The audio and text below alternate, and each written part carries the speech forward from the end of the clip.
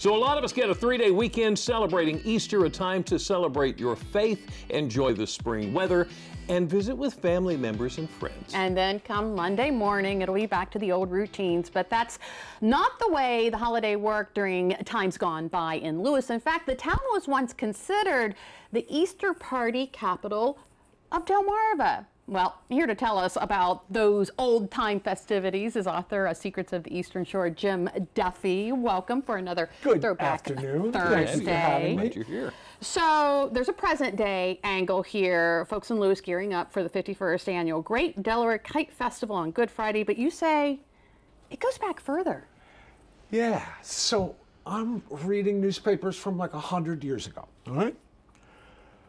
Easter Monday, Lewes, ghost town. It was like Christmas. Everything closed, government offices, shops, because at sunrise, the whole town got up and they all trooped two miles to Cape Henlopen, where the lighthouse was, Okay. and the great dune that fell down 60 feet at that point in time was.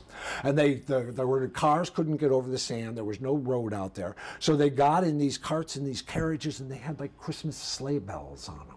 So, so the first thing that happens is the kids don't have an Easter egg hunt; they have an Easter egg roll. They drop their eggs down the dune, and the winner is the one who goes the farthest. And how big is this dune? 60 six zero, like six hmm. stories. Wow. All right. Then the kids start throwing themselves down. the then some adults start throwing themselves down the dune. And then, if there's any reluctant adults left, the teenagers pick them up and thrown. throw them down the dune. And these newspaper articles say if you're like too old to do this, you can't go to the event because you are going to be thrown down the dune. Now, now we know that Ms. Triathlete here would be fine yeah, going down no the dune. But but how do you feel about it? You and me? Yeah, probably wouldn't go. You don't think so? No, no. At the end of the day, they'd all tromp back with their sleigh bells going and everything like that, and then there'd be big parties at night, like jazz concerts and all and all this stuff. And this went all the way up until the 1960s, when some hijinks got out of hand, and there was kind of a near tragedy involving someone being buried in the sand. And anyway, they canceled the event.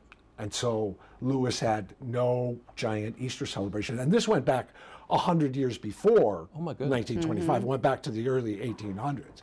So now there's a few years here between the 60s and 1970 where there's no big Easter celebration.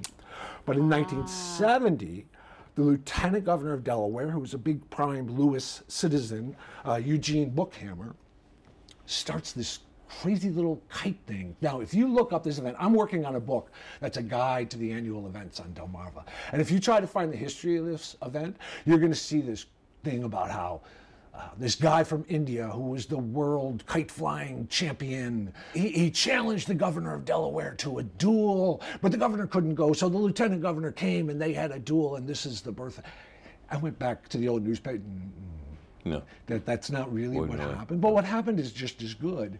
Is uh, Bookhammer did he liked kite flying, and he met this guy who proclaimed himself the world champion of kite flying. He lived in the suburbs of Baltimore, and they had a little duel out there, and they had all kinds of fun with all these ridiculous quotes. They're threatening each other, you know, like boxers before a match. They're like threatening each other about things that they're going to do, and they had like public address announcers and, and everything like that. And you know, a hundred people showed up, but they get to Bookhammer, got it started, and they're partying in Lewes on Easter weekend that? again And it's actually tomorrow, the 51st uh, annual. How about that? Thank you so much, Jim. As a always. wonderful story, as always. Goodness gracious.